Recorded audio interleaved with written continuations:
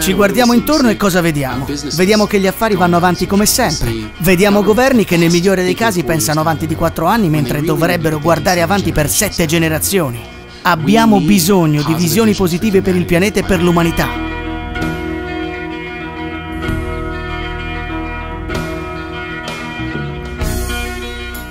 In giro per il mondo io vedo in effetti più speranza che desolazione. Il futuro con meno petrolio sarebbe preferibile al presente con un sacco di petrolio.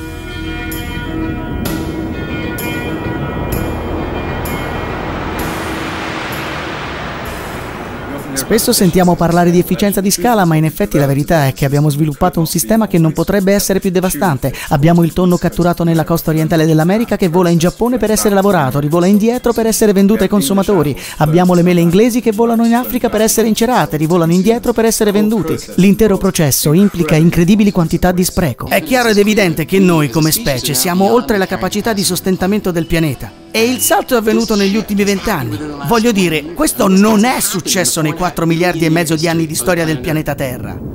La cosa meravigliosa è che più diminuiamo la scala della nostra attività economica, più aumentiamo il nostro benessere. E questo avviene perché a livello più profondo localizzazione significa connessione, significa ristabilire il nostro senso di interdipendenza con gli altri e con il mondo naturale.